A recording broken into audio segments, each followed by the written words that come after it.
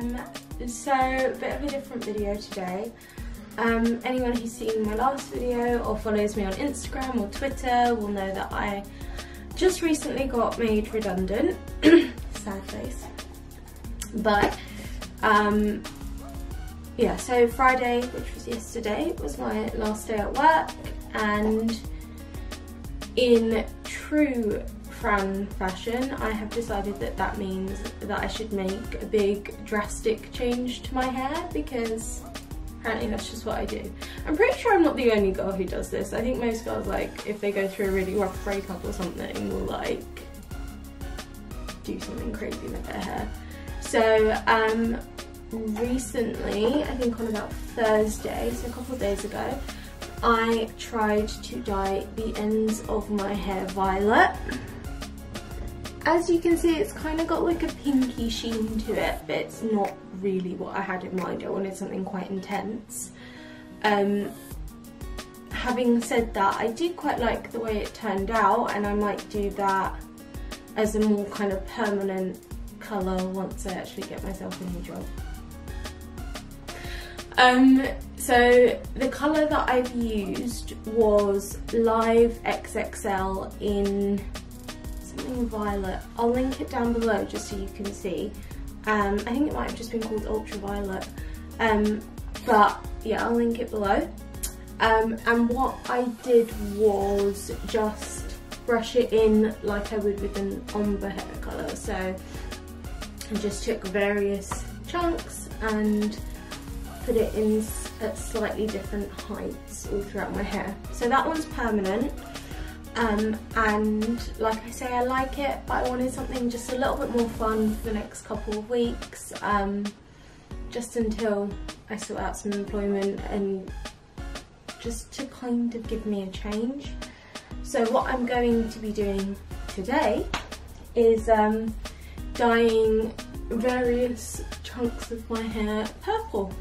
So I'm hoping, because I have my hair curly most of the time, it will look okay. It will, I'm kind of going for like a weird kind of ombre effect, but um, yeah, that's pretty much it. I haven't particularly got a huge plan, so hopefully if you've clicked through to this video, it's because in the thumbnail my hair looks great and you want to imitate this look. Otherwise you might have clicked through because I might have called it tried to dye my hair purple fail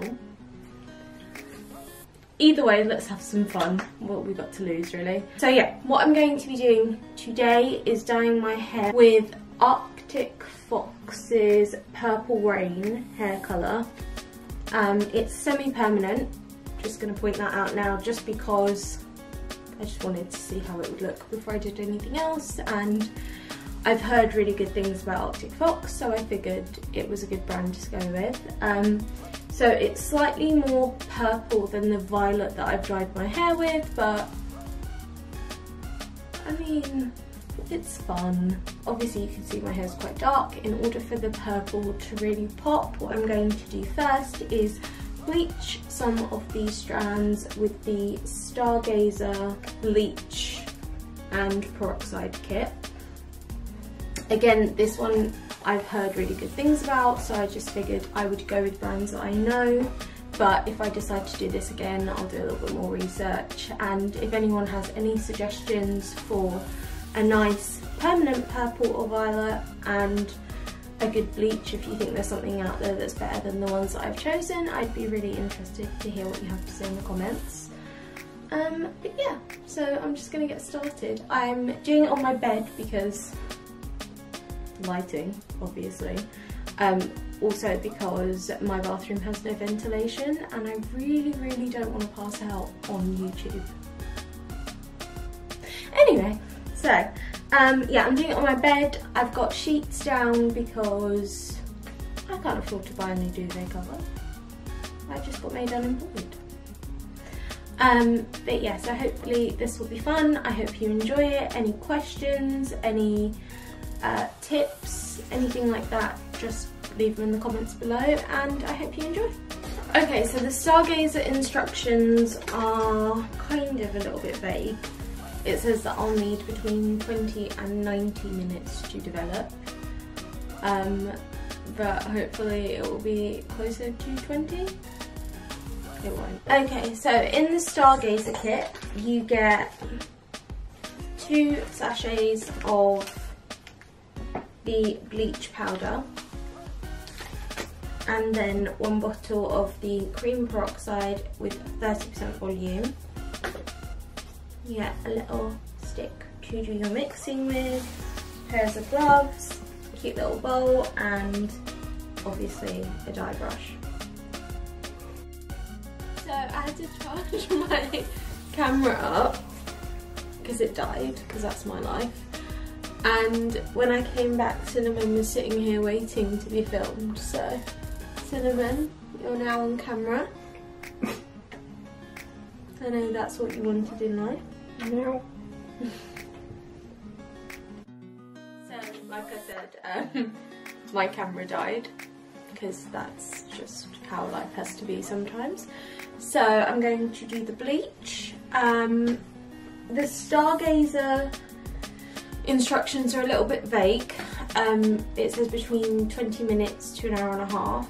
So I'm going to just apply it and then keep checking just to see when it's at the kind of level that I want it to be.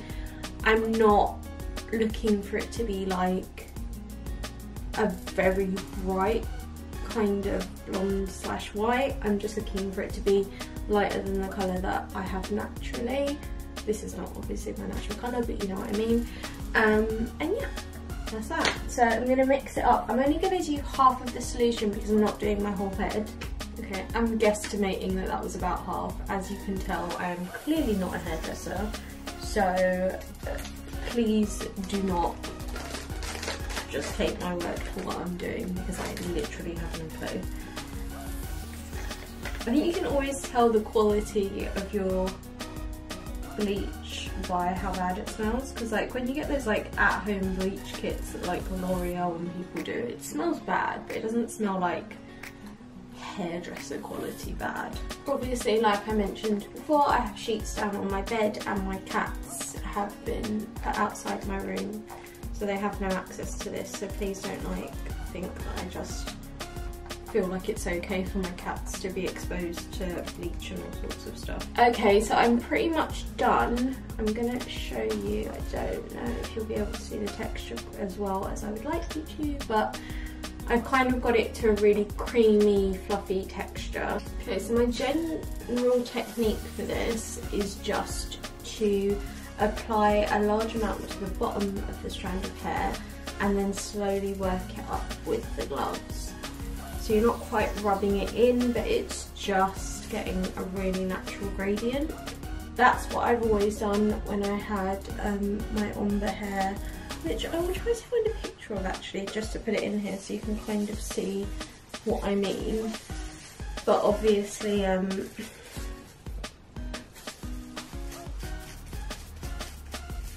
I'm going for something a bit different so I'm not entirely sure what the best way to do this is and if I do it again I might do it slightly differently but we will see. And obviously when I do the purple parts I will just go over the bottoms of my hair and just try and cover all the bits that have been bleached.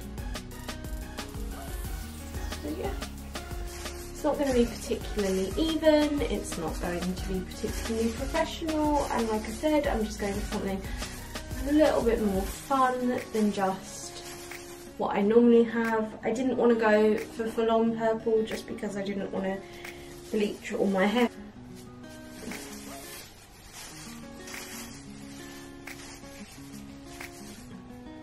I genuinely have no idea how this is going to look when I'm done, so it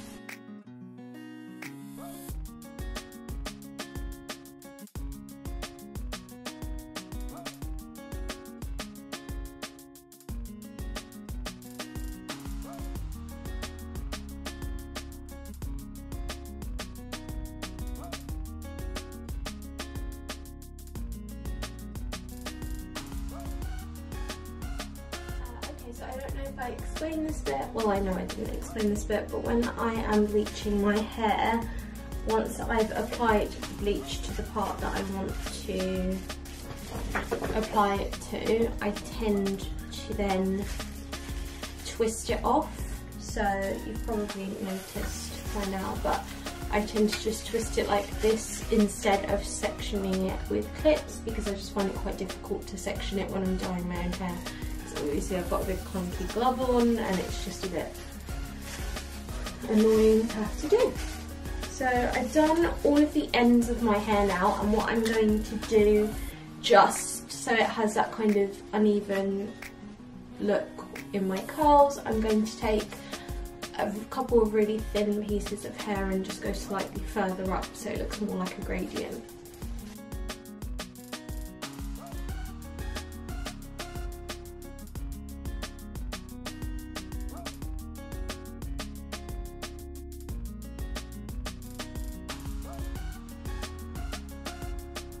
Yeah, so just super tiny sections and just working with bleach slightly further up the strand than it already is.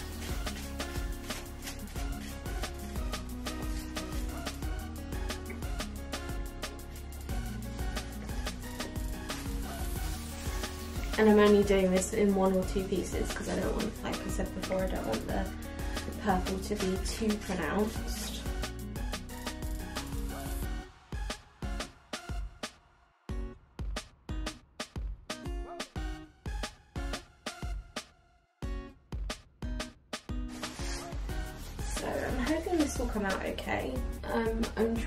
To console myself with the fact that hey, at least I don't have work on Monday if it comes out atrociously.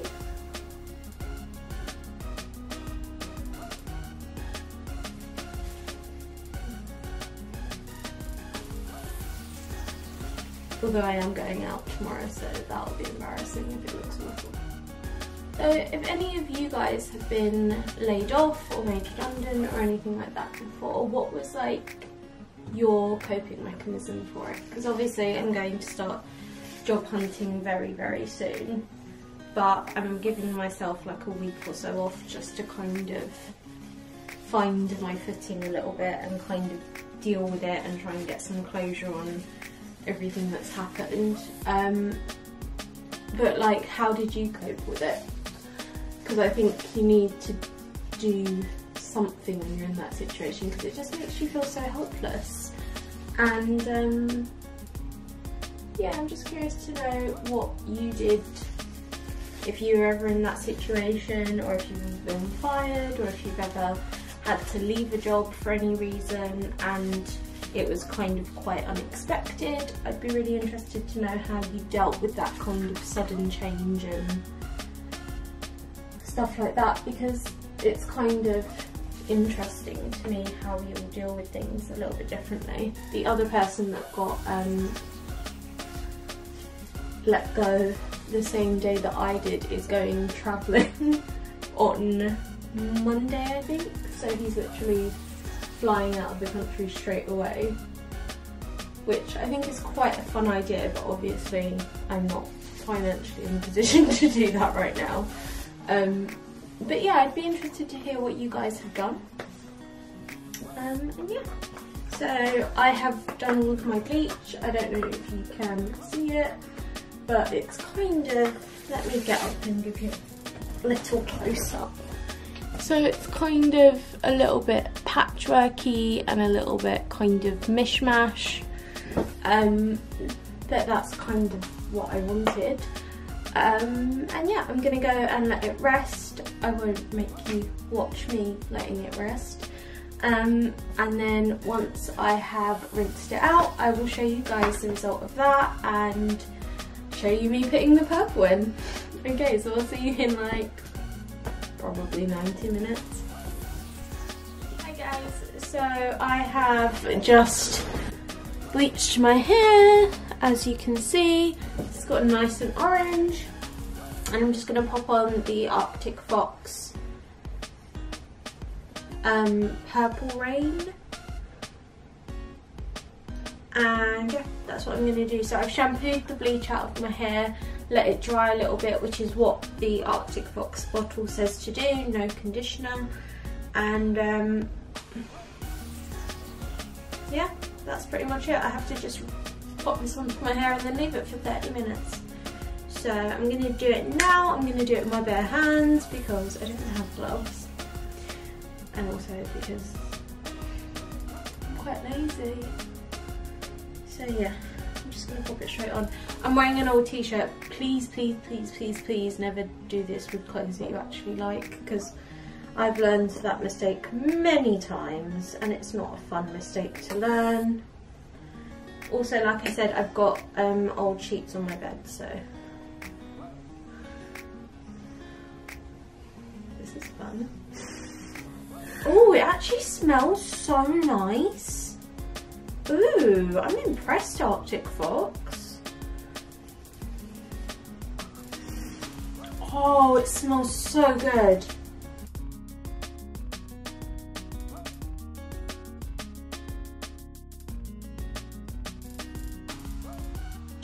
To like aim for the bits that I bleached earlier so some of it might go slightly further up but hopefully it will just catch better on the areas that have um, bleach on them. Oh god, this is terrifying. Oh well, it's done now isn't it? Do you know what it smells like? It smells like grape soda. So we don't have that really in the UK, but occasionally you can find it in like the American section, and it's one of my favourite drinks. Um, before I dated George, I actually dated this guy who was American, and I used to make him um, bring me back like all grape flavoured products from America because I love it because it doesn't actually taste like grape at all it's just really artificial. Eh, I got it on my neck, it's fine. I have no idea how much of this stuff I'm supposed to put on. And my natural hair colour is like, well it's ginger. So generally with stuff like this, um, because it's such a high pigment, my natural hair colour, it can take a while for it to take. But I'm just going to leave it on for the full 30 minutes and hope for the best because I don't want to completely trash my hair. And because it is such a bright colour, I'm hoping it will take relatively well. Yeah, I'm going to leave this for half an hour and hope for the best. I'll see you in half an hour, guys. I washed the dye out of my hair and curled it and this is the end result. So I'm going to get a little bit closer so you can see but I've basically got purple and violet running through all of my hair. So yeah, I'm actually super happy with how it came out. And as always, if you go to my Instagram, which is in the description box below, there will probably be tons of pictures on here, on there, because I am actually obsessed with it. So yeah, I hope you guys enjoyed watching that. I know it was a little bit of a kind of mishmash and it was a little bit different, but this is how I am choosing to get over my current employment situation, or lack thereof. So yeah, as per usual, uh, all my social accounts will be in the box below and don't forget to like and comment and subscribe. Bye guys!